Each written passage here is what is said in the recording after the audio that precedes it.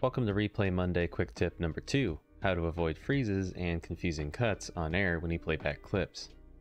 On default settings in vMix, if you click the play events button, two things will happen at zero in the countdown. Your replay A will pause, and replay A, if it wasn't already in your output, will transition out of your output and something else will go in there.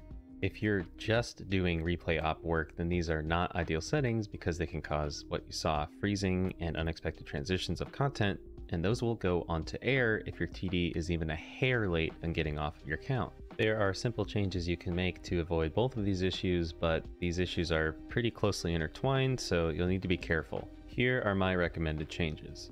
In your instant replay settings on the Events tab, check Continue playback after events have completed, and uncheck Play Event button automatically transitions to output. And if you're using Companion, do not use the Play Selected Event to Output action. Delete that. Instead, use a Run Custom Command action with the Replay Play Selected Event shortcut function. To be extra safe, open up the input settings for Replay A and uncheck the Automatically Play and Automatically Pause options for transitions.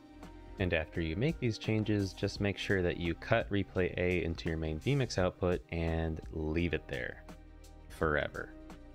So now when you play out a clip and your count reaches zero, it will continue to play. This means that your TD has extra time to switch off of you without any risk of freezing or unexpected content transitioning in. There are other valid solutions for this, but I think the one I've shared here covers most people's usage for replay operating. Thanks for watching. Like and subscribe for more of this, and as always, good luck out there.